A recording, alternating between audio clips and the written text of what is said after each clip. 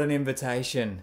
The earth is filled with His glory. As we look outside, as we look around our world, there are challenges, but it's filled with His glory. And it's that God who's worthy of our praise and our worship that we gather around today. Welcome as we gather as a church in many places. Perhaps you have people in your home today who you're gathering with as, as in fellowship and in worship of our God, or perhaps you're on your own. Wherever we are, we are connected as His people. We're here to open our hearts, to lay down our burdens, and uh, lift up His name. So let's do that through song. Lord, I lift your name on high.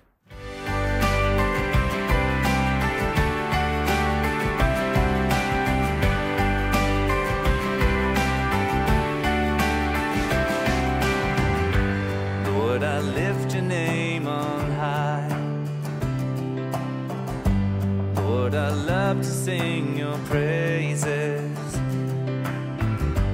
I'm so glad you're in my life.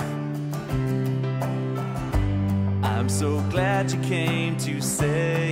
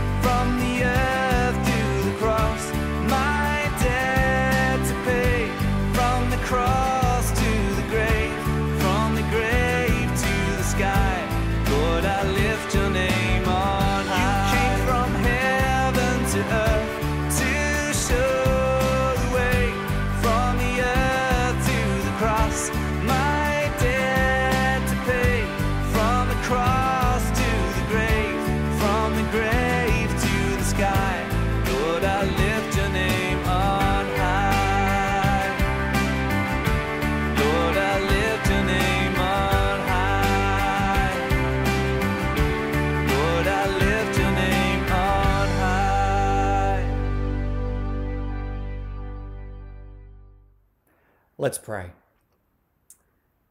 Heavenly Father, we thank you that you are good and faithful. We lift your name on high for all that you've done, that you came from heaven to earth. You showed us the way, that you gave your life, and that you rose from the dead. We thank you for those powerful promises. We thank you that the earth is filled with your glory in the in the green and the sunshine and the rain and the flowers that bloom. We thank you that your presence is there if we only look for it. We lament that in this time there are things that we're restricted in doing. We can't do all and have all the freedoms that we hope for. But we thank you that you're with us in and through our struggles. And as we come to you this morning, we confess our failings and, and that we have not always looked to you.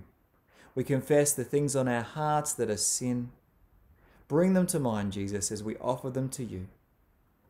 Forgive us. We thank you that you take those sins, and by your grace and by your blood, we are washed clean. We offer ourselves to you afresh this morning to worship, to offer our all. Amen. A few notices and uh, announcements in the life of our church are coming up, as well as uh, sharing in celebration of our birthdays. To subscribe to our newsletter, contact us, find our previous online service, and more. Head to our website, echunga.ucasa.org.au. Thank you to those who have set up regular electronic giving for your weekly tithes and offerings. You can find our account details by clicking the Giving button or on the Giving section of the church website. If you are not sharing this morning with others in your home, Join us after the service to connect over Zoom. Use a link from the email sent this week, or it will also be posted in a live chat. Did you know that if you have a specific prayer request, you can click the button at the bottom of the Church Online window? This will open up a private chat box with me, and you can pass on a prayer request here that won't be visible to everyone. You can also email us with prayer needs, and these will pass on to our prayer team or a wider group via email. Good morning, church. Um, I'd like to bring to your attention uh, a letter or email which Matt has um, prepared and has forwarded to you in the last couple of days in regard to our services over the next uh, few weeks uh, leading into August. Um, the Church Council have decided that we are going to continue with the online service format, um, but we would also um, offer um, the use of Wandine on Sunday mornings as a place where those that wish to worship together and or watch the online service together, um, that that can be done in Wandine on uh, on Sunday mornings at uh, at ten o'clock. So um, this would enable you to um, join with others to worship, but it would still be in the format of watching uh, our online service. Um, the reason why we are using Wandine rather than the church is because the cleaning requirements uh, are unworkable uh, in the church building. Um, so um, Wandine is a much simpler uh, environment. And uh, if you look at Matt's letter, letter, which I encourage you to read closely, it will give you all the details of when uh, this is going to start and, uh, and how it's going to work. Um, so please read that carefully uh, and make your decision. We still encourage those uh, to watch our online services together in small groups um, and join with friends or, or others in your own home. Um, because of the medical advice uh, which we have received, which still is to be very cautious at this point rather than, uh, than try and get services back as they used to be. So thank you very much for your understanding of where we're at. Um, we're all keen to uh, return, but we are very uh, conscious that we want to do it in the right way. Thank you. Hi everyone, Rachel Stevens here from Echunga Primary School. I just wanted to do a quick video to say hi and that um, I really do appreciate the support you guys continue to give, even though uh, we can't see each other in person. Matt and Michelle have checked in a couple of times, but I really want to say a big thank you because support from all of you guys and our Interchurch Council has enabled me to buy some really great resources for our school. Um, resources like positive parenting cards when I have chats with parents, um, Two Worlds, which is a card resource which helps me talk to kids about separation and uh, parents' divorce. Uh, and then things like optimism booster cards in conversations with kids so I can help push those questions about is the situation really as they're seeing it and what might they be able to do about it. Um, even today, I was able to use uh, the strengths cards, which I got from St. Luke's Innovative Resources from funds from your school, the Church Council, to help kids think about what are some of their strengths. And so we played a game where I laid out nine different strengths cards on the table. And as I rolled the dice, um, if it landed on an odd number, they had to give a strength of their own. And if it landed on an even number, they had to give a strength of someone else in the room. And it was really encouraging. Things like, I care about others, I help others, I'm brave, I'm honest, or even I like to play. It was a great game to play with a group of kids who are struggling with self esteem, none of which would be possible without your guys' support. I'd love you guys to keep praying for me and for the school as I keep working here.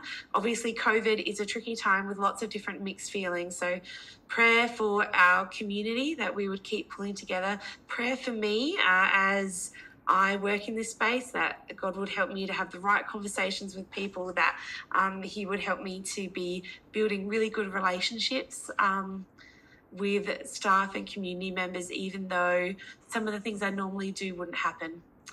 Uh, that would be great. I can't wait to see you guys again in person. Uh, I hope that will be soon. But I just wanted you to know you're still making a giant impact through all of these resources and more, uh, and through your prayer to me. I feel so encouraged by your church community.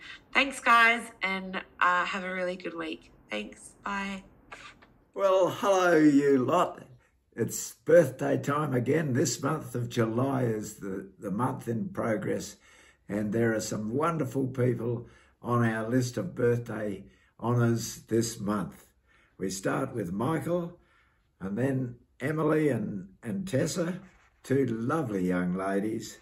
Wayne, all the best for your birthday, Wayne. Alicia, keep those bottle tops coming, Alicia. I've got a bag full of them.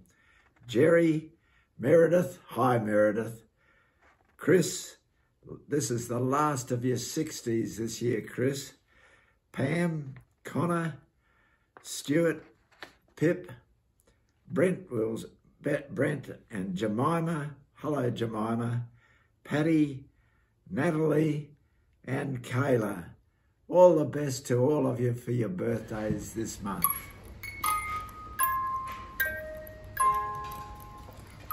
Happy birthday to you.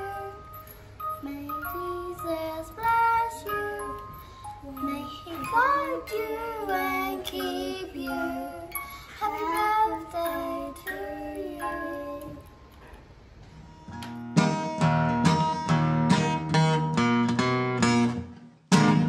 G'day, I'm Colin. I wonder if you know what are some big things? Big things.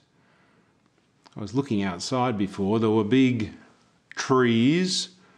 Maybe you can see some big buildings. What else? Um, what's that? River, big river. And rivers flow down to the the sea, and the sea is big. Hmm.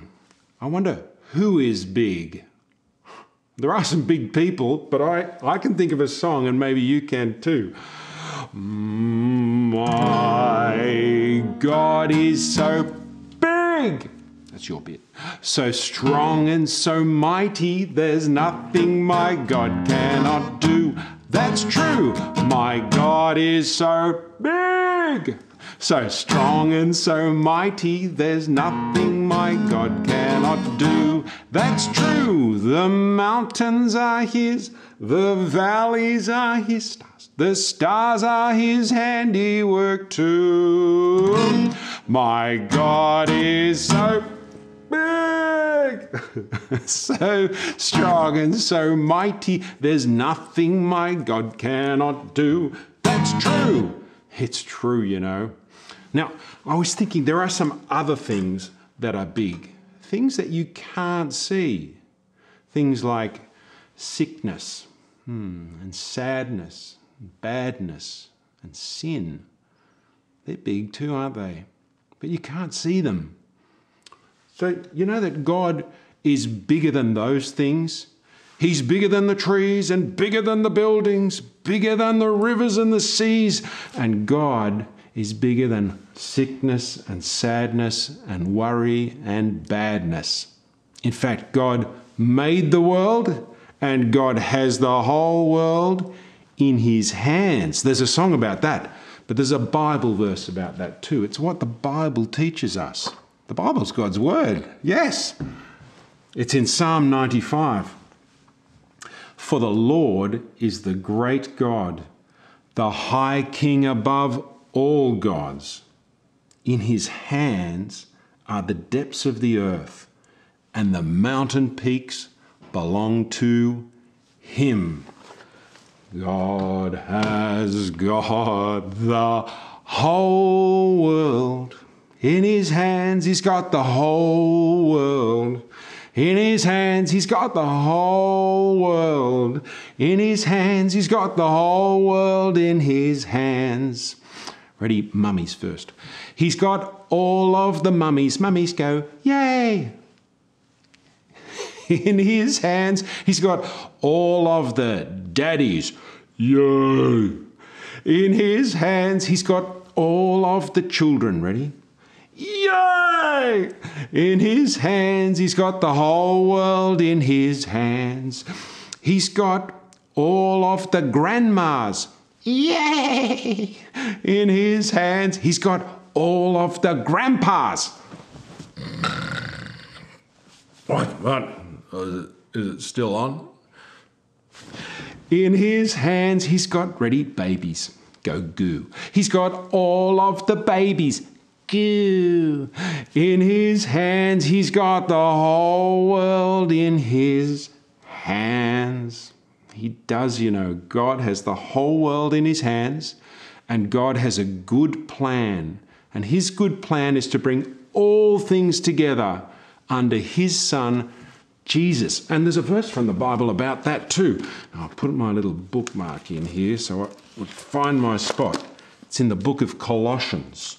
And it says, For God was pleased to have all his fullness dwell in Jesus, and through Jesus to bring all things together, whether things on earth or things in heaven, by making peace through his blood on the cross. What a good plan to set all things right under Jesus. In fact, I changed the first song a little, and this is how it goes. My God is so big, so strong, and so mighty, there's nothing my God cannot do. That's true. My God is so big, so strong, and so mighty, there's nothing my God cannot do. That's true. Jesus died on the cross and rose from the dead, for Jesus is mighty to save. Ready? It's going to be loud. My God is so big, so strong, and so mighty. There's nothing my God cannot do. That's true. It is true. You know what we should do? I'm going to pray now. Will you pray with me? Prayer is talking to God, by the way. All right, I'm going to close my eyes so I can think about talking to God. My Lord and my God, you are so big. You made the world and you take care of the world and you take care of everyone and everything in the world. And you have a plan, even though we don't always know it or see it. But we know that you've told us you will bring all things together under Jesus, that you will bring life to all who trust in him. So be with us, we pray. In Jesus' name, Amen.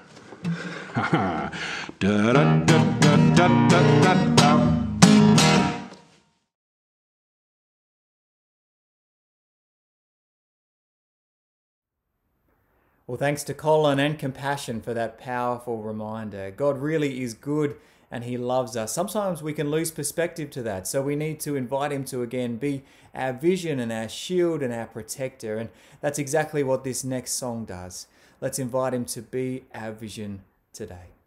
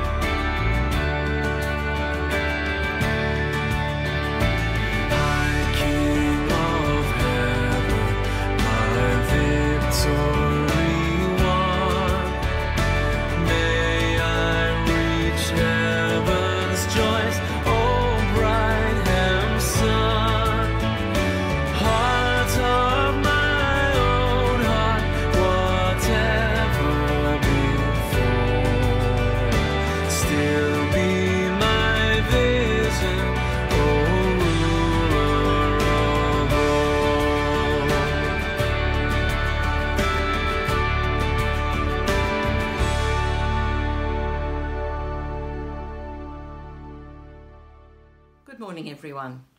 Reverend Craig Bailey will be speaking to us this morning about faith, focusing on Hebrews chapter 11, which names many heroes of faith from the Old Testament.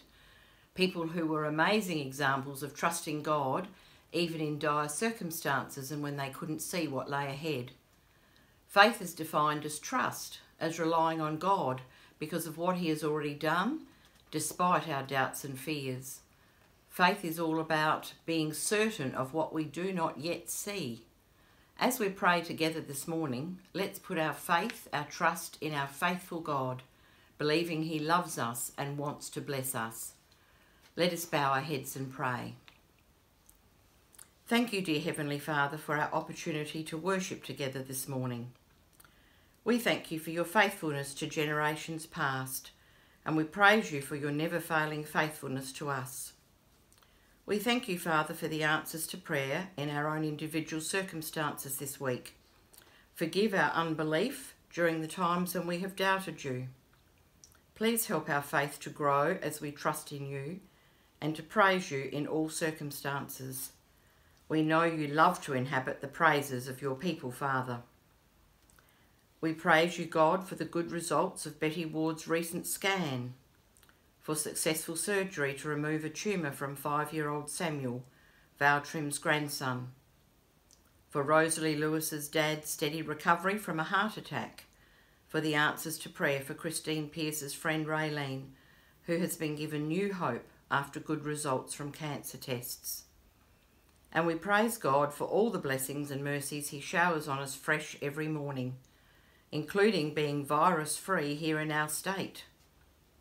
Help us each day to look for things to say thank you for, even when we are in the middle of tough times. Thank you, Father, for Rachel Stevens, the Echunga Primary School pastoral care worker, and the wonderful work she's doing with children in our local school, for the contact she is making and the message of God's love that she is expressing through all that she does. We pray together today for ongoing healing and pain relief for little Samuel, for Betty Ward, for John Pitchford, for Rosalie Lewis's dad, for Raylene, and for others we know of who are in need of a healing touch from our loving Heavenly Father. We pray also for God's peace and awareness of His presence for these dear folk and their families. We pray for your peace and comfort for those grieving the loss of a loved one and we especially pray for Brian Cogan and for Marge Hammond. We pray for work opportunities for those seeking work and for help for those in financial difficulties. We pray for those with depression and mental health needs, those who are lonely and alone. May they receive practical help in their individual situations and know that you love them dearly. We pray for so many all over the world who are suffering with the effects of coronavirus, and especially for those who have lost loved ones due to this disease. Please give wisdom, skill, and expertise to those who are working to create a vaccine. We pray for countries where there is hatred, fear, and lawlessness, where the colour of a person's skin causes discrimination and sometimes violence. Father, we ask for your love and forgiveness to touch the lives in miraculous ways of so many who need it. And we pray for Matt and Beck Carratt and their family as they head off today for a week's holiday. We praise you for Matt's ministry among us and for his wisdom, passion, and joy as he shares your message of love in Echunga, the Adelaide Hills, and beyond. We pray for a great time of relaxation and refreshment for the whole family. And we pray for Craig Bailey as he speaks to us shortly, and we ask a blessing on us all in the week ahead.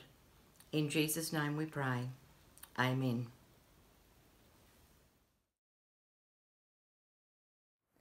Well, good morning, everybody, and welcome to our beautiful little church in Echunga. It's lovely to be here. Our reading today comes from Hebrews chapter 11, and it opens with this wonderful verse that says, now, faith is being sure of what we hope for and certain of what we do not see. Now, reading on from verse 8. By faith, Abraham, when called to go to a place he would later receive as his inheritance, obeyed and went, even though he did not know where he was going. By faith, he made his home in the promised land, like a stranger in a foreign country. He lived in tents, as did Isaac and Jacob, who were heirs with him of the same promise. For he was looking forward to the city with foundations, whose architect and builder is God. By faith, Abraham, even though he was past age and Sarah herself was barren, was enabled to become a father because he considered him, him faithful who had made the promise. And so, from this one man, and he as good as dead, came descendants as numerous as the stars in the sky and as countless as the sand on the seashore. By faith, Abraham, when God tested him, offered Isaac as a sacrifice. He who had received the promises was about to sacrifice his one and only son, even though God had said to him, It is through Isaac that your offspring will be reckoned. Abraham reasoned that God could raise the dead, and figuratively speaking, he did receive Isaac back from death. This is the word of the Lord. Thanks be to God. Hello to my friends at Echunga Uniting Church. It's a real privilege to be with you today, and thanks, Matt, for asking me to share this message, which is basically a message on faithfulness. You know, about 12 months ago, I was in Vancouver, British Columbia, at a place called Whistler, a kind of an adrenaline town. And my brother in law, Kim, and I were taken up to a high mountain and um, we zip lined at a time speeds nearly nearly nearing 100 kilometers per hour and as high as uh, higher than a 20 story building looking down on the landscape just zipping down this line. And it was amazing. But as i was going down I, I had a choice to make. I could either kind of resist and there was were ways of slowing down resist and be fearful, shut my eyes and hope for the best. Or I could trust that line. There's only, it's only a narrow line. Hold on and just go with it. I chose the latter and I experienced um, momentum, the thrill of, of, of momentum. Surfers understand this when they catch a wave. They can't create or manipulate the wave. They just catch it, they trust it, they hold on, and they go with it. We read today from Hebrews chapter 11, and Hebrews chapter 11 is kind of a hall of fame for biblical champions. Champions like Noah, like Rahab, like Moses. And you know, these were ordinary people who did extraordinary things because they trusted God, they held on and they just went with Him. We live in challenging times, really challenging times. And in the midst of these times, we are called to be faithful. You know, the hero of heroes in that Hall of Fame was probably Abraham. God comes to Abraham in Genesis chapter 12 and calls him. He says to Abraham, I'm going to make you the father of many nations. Abraham was probably quite overwhelmed by this, but he's a lesson in trust. He trusted God, he held on, and he went with what God was calling him to do, despite all kinds of challenges. Let's look at some of those. In verse 8 of Hebrews 11, by faith, Abraham, when called to go to a place he would later receive as his, as his inheritance, he obeyed. Abraham obeyed and went, even though he did not know where he was going. I mean, understand this God comes to Abraham, he's 75 years old. He lives in a city of Ur, which was a wealthy city. It's a time of his life when he's looking at retirement. And God says, I want to pack up your things, pack up all that you have, you and Sarah, and I want you to move. Now, you wouldn't blame Abraham for saying, Well, God, you know, where to? You know what it says there? it says he went without even knowing where he was going. You ever felt like that? Maybe you feel like it now. Faithfulness is trusting God even when you don't know where you're going. It's as though God shows us some part of it, but we have to trust Him with the rest. You know, a little antelope called an impala, and that antelope is one meter high. It can leap three meters high, but when sadly its captives uh, captured it and put it into an enclosure, they only ever had to make the enclosure two meters high. The reason why is that despite the fact that the little impala could easily leap over a two meter fence, it would never do so because it always had to see where it was leaping to. It just wouldn't do it. It's stay in captivity. Aren't we like that sometimes? Sometimes we get all conservative and, and look and, and lock ourselves in because, well, we don't know quite where God is taking us. 2 Corinthians chapter 5, verse 7.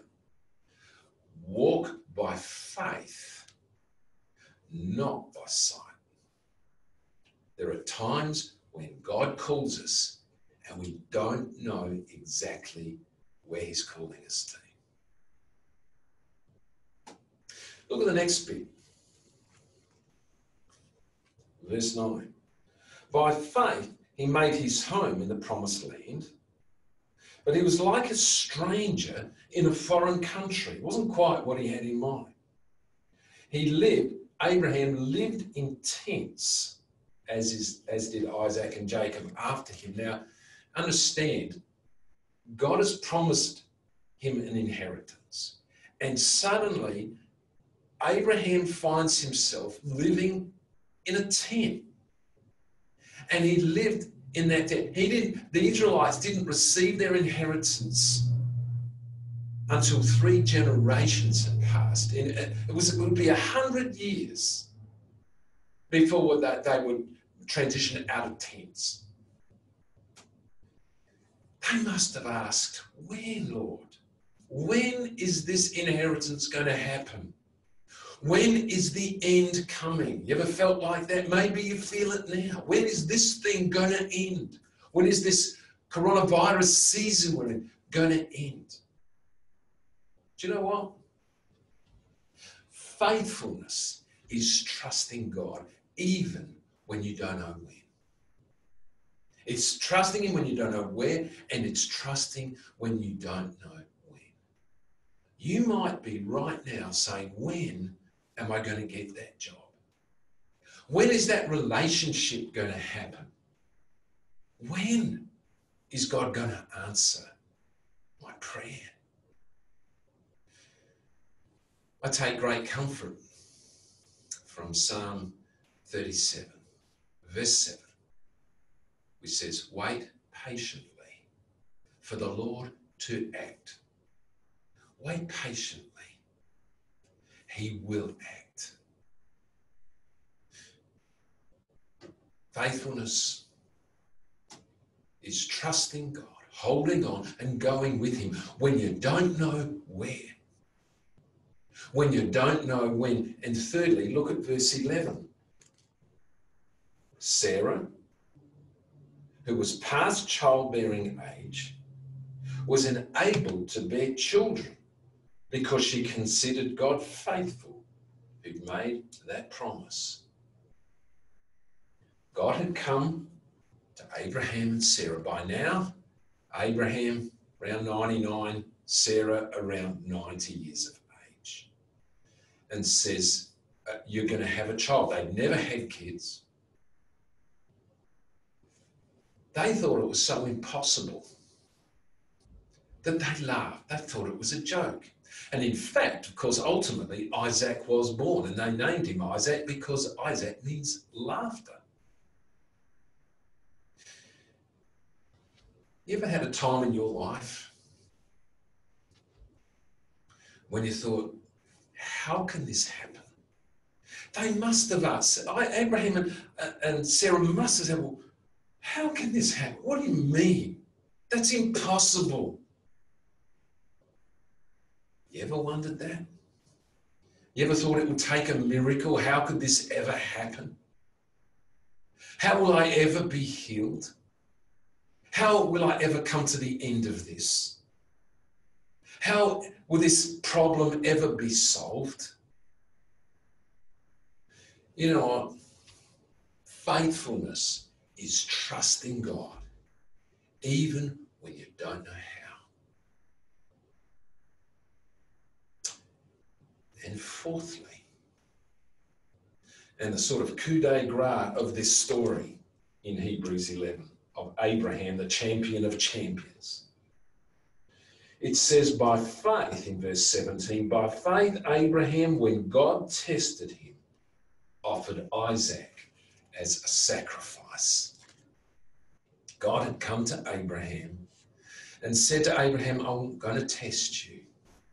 I want you to take your son Isaac. Isaac, by this time, would have been an adult male. And I want you to go with him and I want you to put him on the altar and sacrifice him. I find this passage really difficult for multiple reasons. But I do understand the point that is being made. It made no sense. Why would God ask Abraham to do that? Abraham himself must have thought to himself, why is this happening? Have you ever asked that question? Why is this happening? Why me? Why God?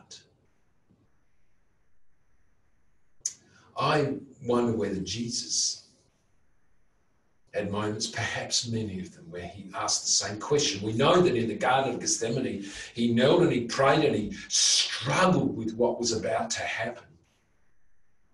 I mean, he was about to die as the only son, a sacrifice for his father. And we do know that he prayed earnestly, Lord, take this cup away from me. But I'm sure he must have said, Why? Why me? Why now? And I believe that many of us have had moments in our lives, if not even right now, asking the same question. Faithfulness is trusting God when you don't know where, when you don't know when, when you don't know how, and when you don't know why. It's amazing what happens when God tests us.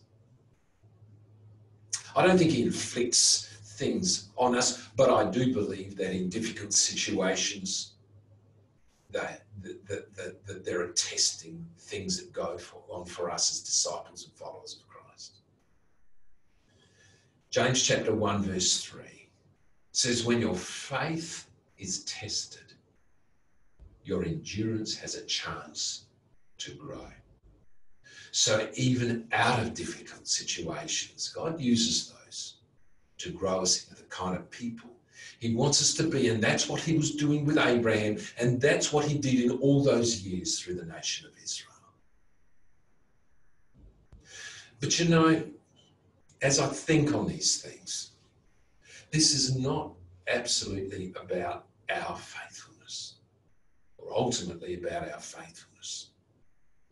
See, when I look at this and I look at these champions of faith and how God turned ordinary people into people who did extraordinary things.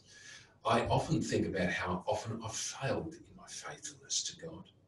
But this isn't about faithfulness, our faithfulness.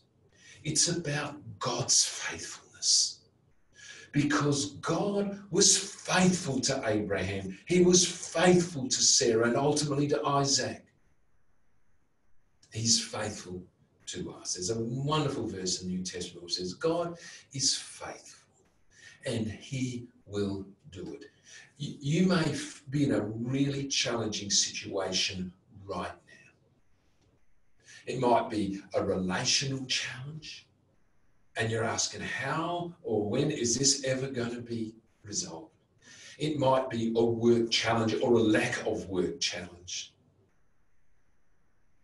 Might be a church challenge. I belong uh, in part of the leadership of a small church plant. And we have no home, particularly. We have no church or place. And in the midst of this season, when we're so new and we're really only just started, we're asking a lot of questions about where we're going and how we're going to get there and why now. But God is faithful.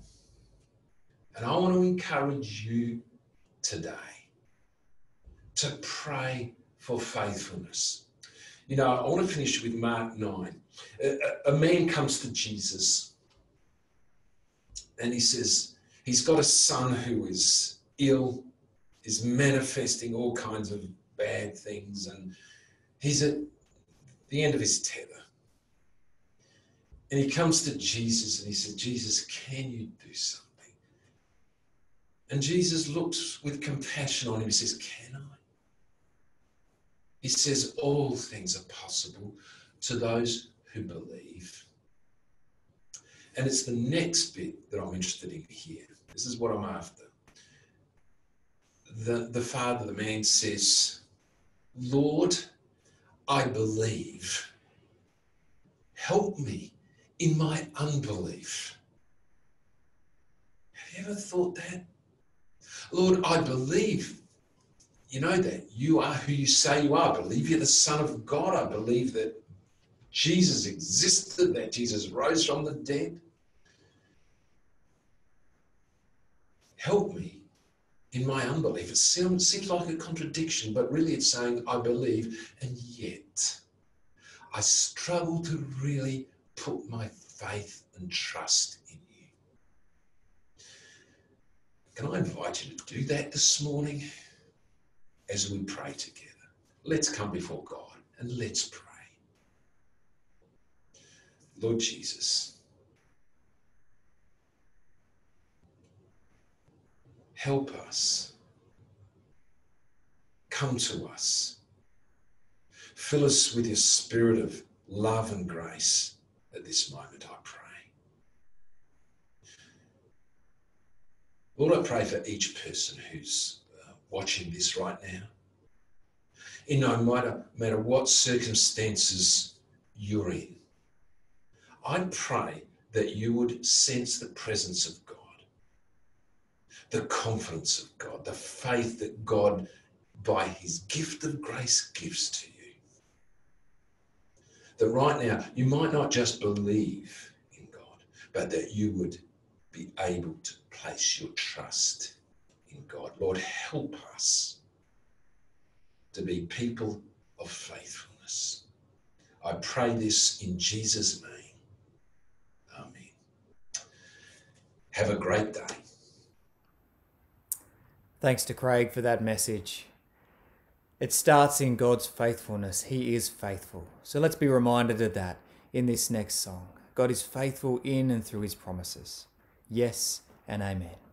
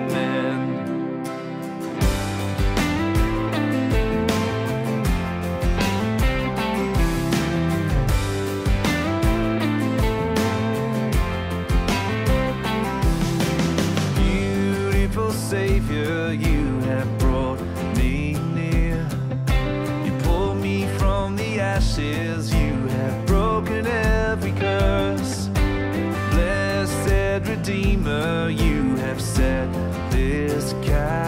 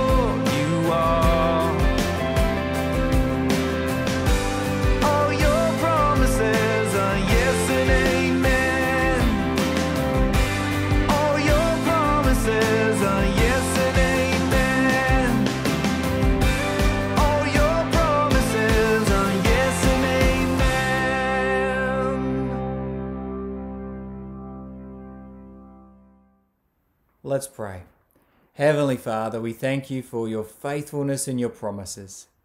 May we be people of faith who live that faith out. As we give our lives to you today and this week, in our conversations, in our actions and interactions, be glorified through us as we step out in faith. For the money that we've given today and through this week in different ways, we pray that you would stretch us and you would use that money for your glory as it's spent here and beyond here. Bring light to the darkness. We thank you, God, that you are with us. You never leave us, and for the call to step forward. In Jesus' name, Amen. As you go this week into another week to seek and to serve Him, go as an act of worship with our faithful God with you. God the Father, the Son, and the Holy Spirit are with you every step of the way. Amen.